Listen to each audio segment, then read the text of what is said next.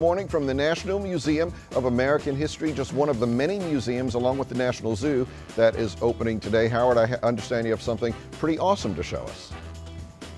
Yeah, this is brand new. This is the first time being shown. So when you come here, if you've been here before, come, you'll be able to see this from Bob Ross. You know, the PBS painter guy who seems to be more famous now than when he was actually on TV painting. But this is a, a painting called On a Clear Day.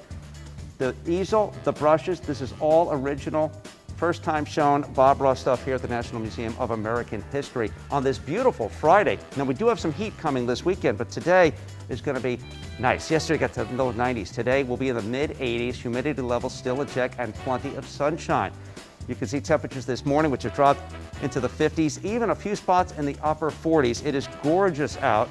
And while we're still sitting at 60 in DC, it feels really good. Lunchtime temperatures either side of 80, so a comfortable day. Just don't forget the sunscreen. And then this afternoon, we're in the mid 80s. Tonight, won't be as cool. We'll be in the 50s and 60s, and that's going to set the stage for a hot Saturday, back above 90. Still not too humid on Saturday.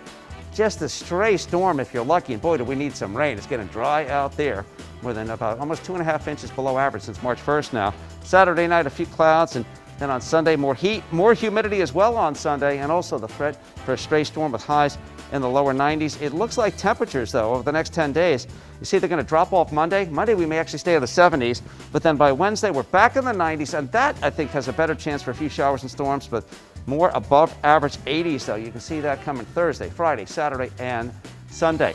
I do want to remind you that if you do come out to the National Museum of American History or some of the indoor museums with Smithsonian, the zoo, of course, you don't need.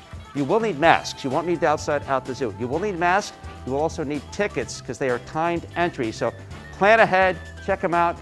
Very excited the Smithsonian opening some of their museums today. Guys, back to you.